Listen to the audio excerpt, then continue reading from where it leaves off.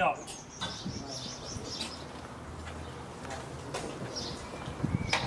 Ja, dat in richting zo.